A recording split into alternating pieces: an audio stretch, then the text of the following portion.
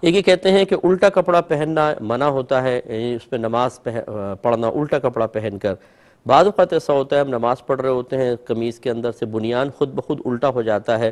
اور صورتحال بھی ایسی ہوتی ہے کہ جیسے اب جبہ وغیرہ ہو تو اس میں ہاتھ بھی نہیں ڈال سکتے کہ اس کو سیدھا کر دیں، تو کیا حکم شرع ہوگا؟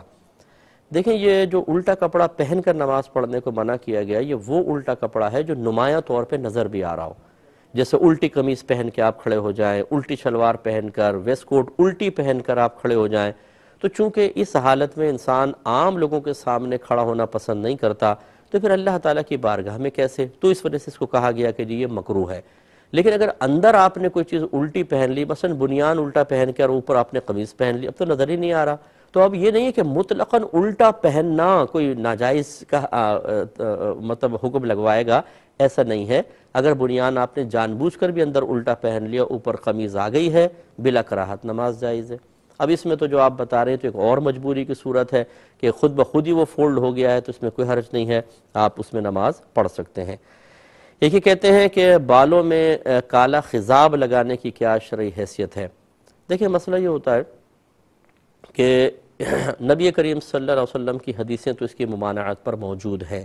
میرے آقا صلی اللہ علیہ وسلم نے شاد فرمایا جو کالا خضاب استعمال کرے وہ برود قیامت جنت کی خوشبو بھی نہیں پا سکتا۔ یہ حدیثیں موجود ہیں لیکن بعض علماء نے اس کی اجازت مرحمت فرمائی۔ اس وجہ سے کہ بعض صحابہ کرام سے اور بعض نفوس قدسیہ سے، بزرگان دین سے کالا خضاب ثابت ہوا۔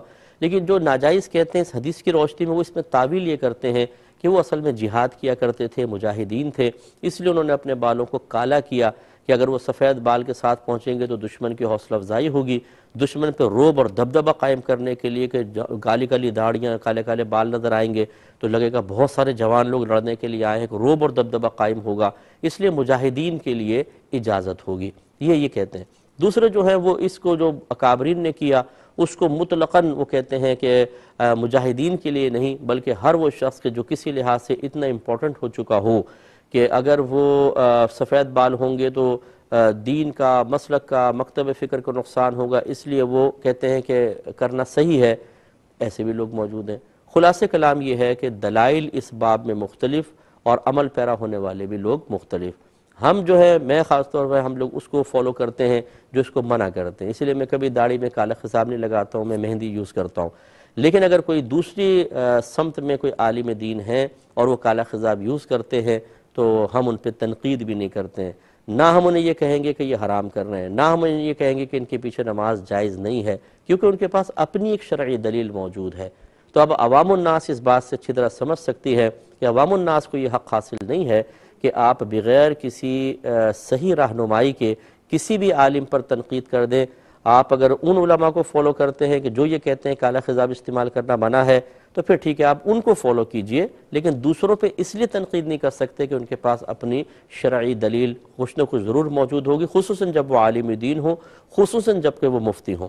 تو اس لیے میری گزارش ہے کہ ان مسائل کو اتنی شدت کے ساتھ نہ دیکھا جائے۔ ان میں بڑی گنجائش ہوتی ہے ان مسائل کے اندر، کیونکہ تعویلات ہر ایک اپنے اپنے طور پر کر رہا ہوتا ہے۔